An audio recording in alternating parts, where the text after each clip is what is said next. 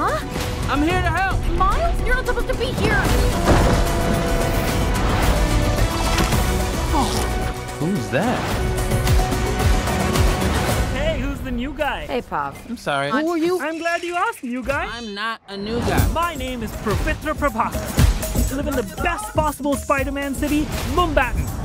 This is where the traffic is. This is also where the traffic is. There's traffic here too. Being Spider-Man is so easy. I wake up, skip the workout because I'm naturally buff and I don't want to get too big, you know? Fight a few bad guys.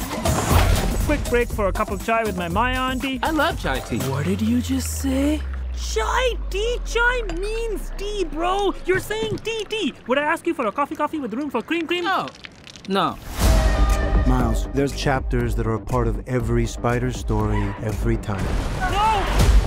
You have a choice between saving one person and saving an entire world, every world.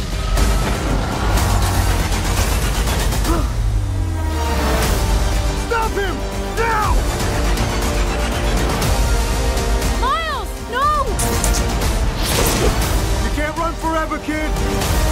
I'm just as much a Spider-Man as any of you.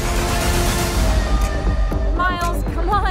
This tension is so palpable. How can you guys even concentrate?